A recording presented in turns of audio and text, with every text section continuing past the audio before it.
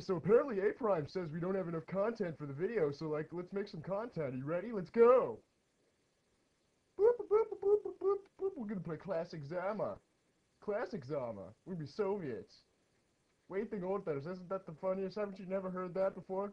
I'm, I'm buying an officer. Brrr. Oh yeah, that's fucking awesome. Look at that, man. That's, hey, and you can see like the uh, the lighting shaders, and it's like whoa. And look how it's dark on that side, and it's like kind of shiny and light on this side. It's like holy crap, man. That's pretty cool. And then you buy a mammoth tank, and you're like. Brrr.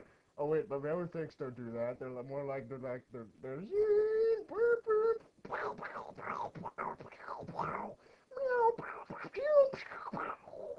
Or maybe you don't want that. Maybe you'd rather have like a more like a like a Tesla tank, and you'd be like, well, you're not doing that because that's that's that's fine. And you're like, and you're waiting for the Tesla tank, and look how it's like it's green. You can be on green one. It's like, and it's like,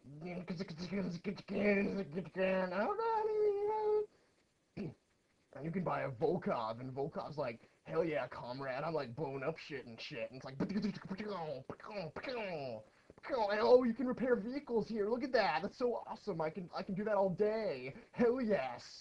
And then like you, you anti-infantry cannon. It makes a little grenade. It goes pow, and then he heals himself. But it like also hurts you because it's it's a grenade and it's like napalm or like fire or something. And then you're like, oh god, I'm gonna buy a mad tank and like I'm gonna shoot the mad tank with the mammoth tank and like this is emergent gameplay, folks, and it's like, hell yes, this is the best thing I've ever done in my entire life.